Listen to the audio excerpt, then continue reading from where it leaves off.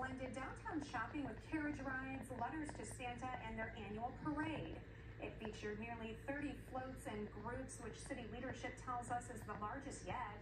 And of course, the man in red paid a visit at the end of the parade, flipping the switch, signaling the beginning of Christmas time.